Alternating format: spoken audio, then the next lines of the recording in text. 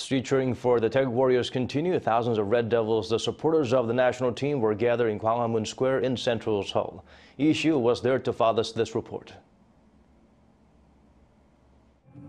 It's late on Friday night, but the Red Devils are back again in Gwanghwamun Square. They're waiting for Team Korea's last chance at redemption in the 2022 World Cup.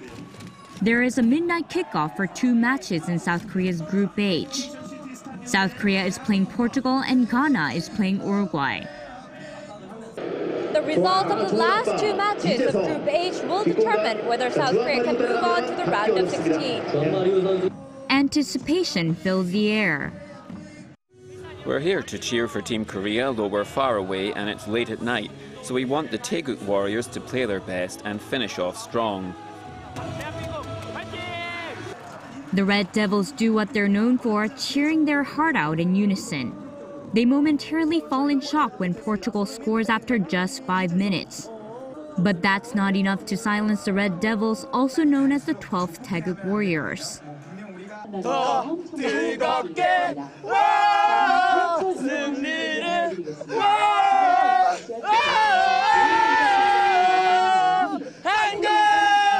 I wish victory for South Korea. Go Team Korea! A glimmer of hope comes as player Kim Young-gwon scores South Korea's first goal of the match after 27 minutes. The square is filled with joy as the fans jump and sing together. Team Korea unleashes its last burst of fire in the second half of the game. At last, player Hwang Hee-chan scores a momentous goal and the Red Devils cry in joy. At the final whistle, South Korea brings the victory home. The Red Devils continue to watch the match between Ghana and Uruguay as its result also affects Team Korea's advancement. The long-awaited moment comes at another final whistle. Team Korea and the Red Devils have made it.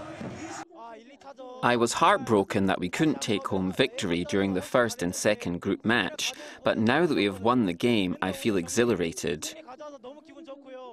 대한민국 화이팅! The square will be filled with excited fans once again on Tuesday as South Korea plays Brazil in the round of 16. Lee Shi-hoo, Arirang News.